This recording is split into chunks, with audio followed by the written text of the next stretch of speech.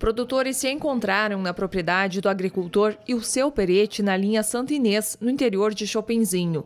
E o seu é o campeão Orgulho da Terra 2022.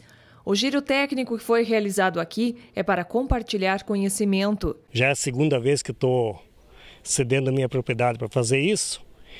E acredito assim que esses giros deviam de acontecer em mais regiões, que a gente aprende muito. Isso tudo dá resultado na produção, no bolso do produtor também depois, né? Com certeza, porque hoje talvez é mais importante até produzir um saco, dois a menos, se for o caso, mas ter um custo baixo. Que hoje é sabido que os insumos subiram muito e você usando boas práticas geralmente não diminui a produção, mas eu só fiz esse comparativo se produzir mínima coisa a menos, mas o custo ficou bem mais baixo.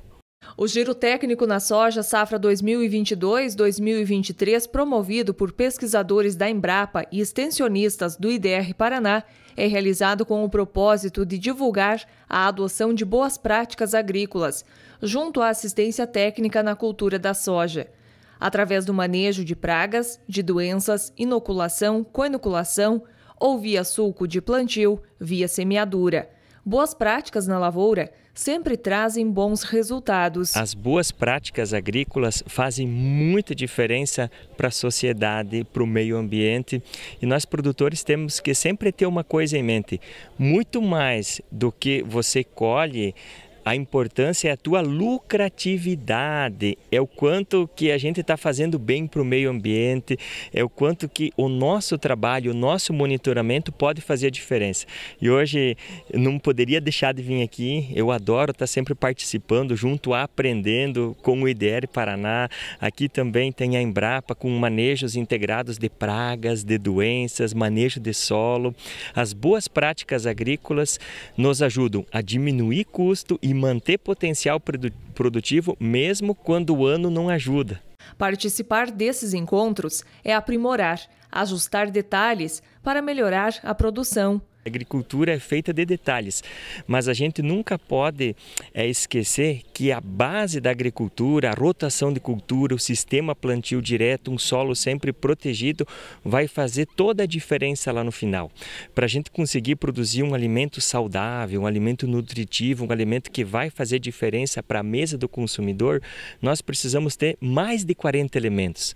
E nós, produtores, nós conseguimos aplicar apenas 15. E o resto vem da onde? O resto vem da decomposição, da palhada, da rotação de cultura, vem da natureza. Por exemplo, nitrogênio é o que o soja mais precisa e a gente consegue isso gratuitamente através de coinoculação, de inoculação com bactérias benéficas. Então, são coisas simples que a gente tem que tomar todo o cuidado que faz diferença lá na frente. Tecnologias para que se possa produzir mais gastando menos e de uma forma bem sustentável. A gente percebe que são pequenas ações sustentáveis que nos ajudam a conseguir melhores produtividades. E os produtos que a gente utiliza produtos biológicos ou produtos químicos, a gente sabe que muitas vezes eles são usados de forma é, é, assim é, sem critério, né? E o objetivo nosso é divulgar boas práticas para que os produtos sejam utilizados de forma consciente e no momento correto. Tá? Esse que é o objetivo. Esse giro técnico no município de Chopinzinho, é, a gente fala, né? É giro técnico na soja. Então já esteve em outros lugares também, ele continua. Como que funciona daqui para frente? Sim, a gente tem uma parceria muito boa com a Embrapa Soja, onde a gente faz é, esse giro por todo o Paraná. Então, eles, o pessoal já está há duas semanas fazendo essas rodadas conosco, né, com o pessoal do IDR, onde nós é, selecionamos uma, um município por regional do IDR Paraná para que receba esses técnicos, esses pesquisadores que tragam essas, essas opções tecnológicas para a nossa região, para a nossa divulgação é, e que os produtores é, aproveitem sempre esse, esse envolvimento da pesquisa, aproxima um pouquinho mais a pesquisa com os produtores, isso é muito bom, isso os produtores só têm a ganhar com isso. E como que é escolhida a propriedade, né? Que nós temos essa específica aqui em Chopinzinho, não é a primeira vez que ela participa, porque ela foi escolhida? É, o, o, o seu, o seu Perete, esse produtor, ele já é assistido do IDR há mais de cinco anos, é um produtor referência para nós, porque ele utiliza de boas práticas na cultura da soja, é um exemplo, pois essa, essa área que vocês estão vendo, ele já está há, há quatro anos sem utilizar adubação química. Ele utiliza a cama de aviário, né, que ele tem aqui da própria propriedade. Então ele consegue atingir altas produtividades com um custo mais baixo. Este é um dos exemplos. Né? Então a gente seleciona produtores que são parceiros do IDR, que confiam no trabalho do IDR, para que a gente possa propagar essas, essas ações, que são ações de sustentabilidade para os nossos municípios, para os nossos produtores, para a nossa regional. Desde o dia 5 de dezembro, as equipes técnicas da Embrapa Soja e do Instituto de Desenvolvimento Rural seguem com o cronograma do Giro Técnico da Soja, safra 2022-2023. Eventos que tiveram início no dia 16 de novembro e seguem até o dia 15 de dezembro, em 17 cidades do Paraná esse ano, o giro técnico da soja foi estendido também para o município de Ouro Verde, região oeste de Santa Catarina, em parceria com a empresa de pesquisa agropecuária e extensão rural de Santa Catarina.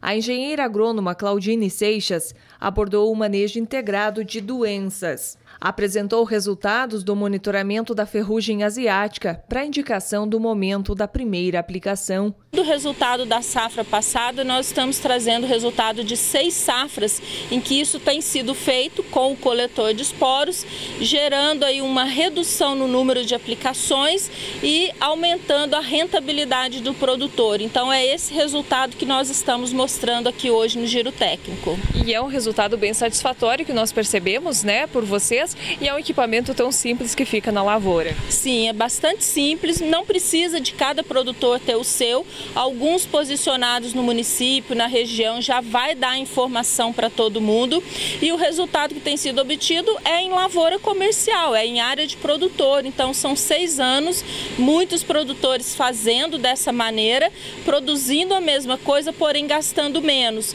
Então a gente tem atingido o objetivo, que é aumentar a rentabilidade do produtor. Manejo integrado de pragas na soja também foi abordado no giro técnico. Hoje a praga mais comum na cultura da soja é o percevejo. A gente vem trabalhando e recomendando aplicação só quando atingirem os níveis de ação. E quais são eles? Hoje, para a cultura da soja e para a praga percevejo, né, a gente só aplica quando atinge dois percevejos por metro na média. E a gente só vai entrar com medidas de controle para o percevejo marrom na cultura a partir de R3, que é aquele estágio de canivetinho que os produtores conhecem né, como canivetinho, certo? Então, é, a gente tem um trabalho né, em parceria com a Embrapa, o IDR Paraná e a Embrapa Soja, e a gente faz esse monitoramento no Paraná Paraná todo, né? não só para o percevejo marrom, mas para outras pragas também. E hoje a gente tem tido uma redução de 50% no número de aplicações de inseticida para a cultura. O produtor percebe a doença e a praga, monitorando a lavoura. O produtor tem que entrar na lavoura, fazer esse monitoramento, né, pelo menos uma vez por semana, e aí sim levantar esses números, levantar essa população de pragas que tem ali em sua lavoura, e aí, juntamente com o seu técnico, tomar a decisão de controlar ou não. Mas é, é importante a gente salientar que a gente tem níveis de ação para essas pragas, esses níveis são validados e são seguros, e o produtor pode confiar.